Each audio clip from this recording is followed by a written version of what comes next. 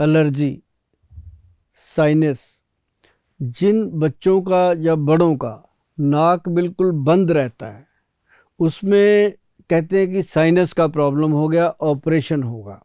कई लोग तो ये कहते हैं कि हड्डी बढ़ गई।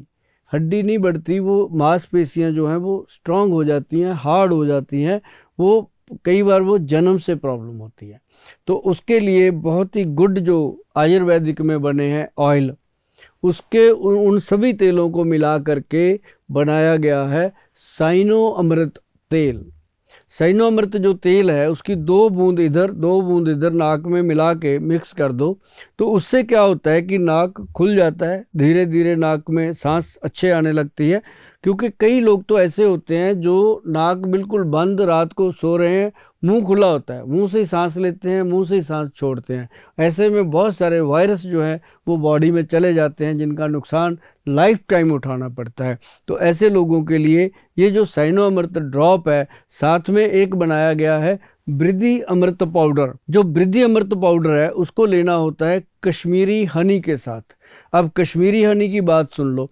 कश्मीरी हनी के लिए हमने बहुत कोशिशें की कि ओरिजिनल मिल जाए।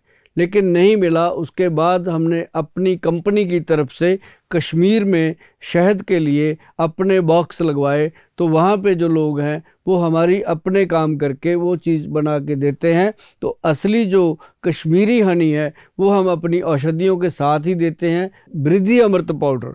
इसको हनी में मिक्स करके, कश्मीरी शहद में मिक्स करके रात को, ऐसे धीरे धीरे चाट चाट के खाना होता है, चाहे बच्चे हैं, चाहे बड़े हैं, और इसमें परहेज़ होते हैं कुछ।